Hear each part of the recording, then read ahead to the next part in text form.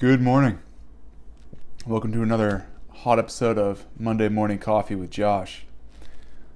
So, this morning I'm going to mix it up a little bit and due to the the time times that we're going through the season of holidays and Christmas, I thought it would be appropriate to break out some good old hot cocoa. Um, because nothing is more delicious than sugar, chocolate, and boiling water to get you going in the morning. So today, got a little packet of uh, good old Swiss Miss with some marshmallows in it. I like the marshmallows. Uh, I also like the family dynamic that's going on in this photo. It's a mother with her daughter. It's very sweet. That Swiss Miss classic brings families together. So, without further ado, let's try some of this Swiss Miss.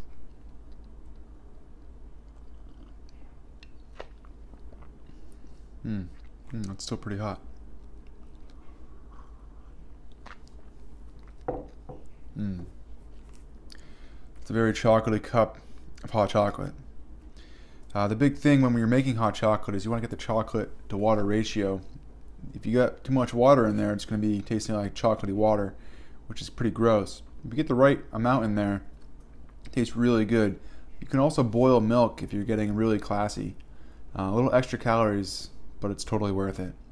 So I would give Swiss Miss like an 8 or nine. It's not like high quality hot cocoa, but it's a good price. So there's that.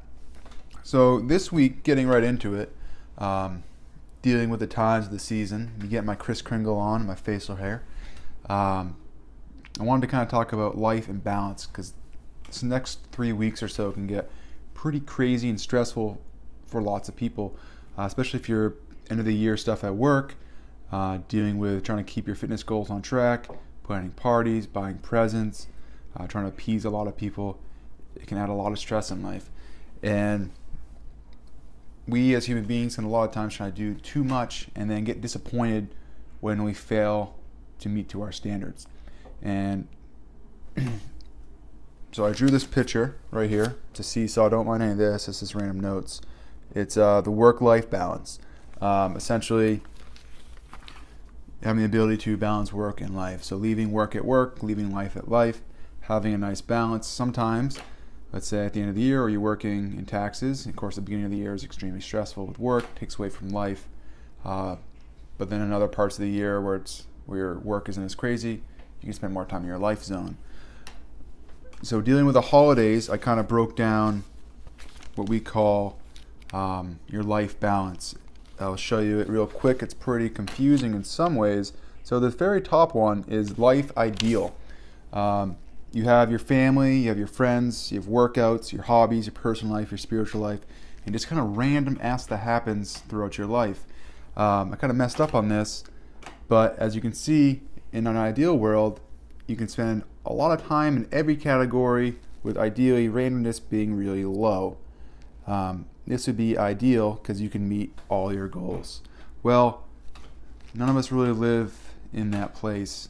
So the other one I have down here is what I call holiday living. As you can see, uh, randomness is very high, family's high, friends are high, uh, hobbies are low, spiritual time is kind of low, workouts are low, uh, personal time can also be very low. So that's kind of what you're looking at during these times of the month is you're focusing a lot on family, friends, just random stuff that pops up, like having to go to the grocery store and get such and such.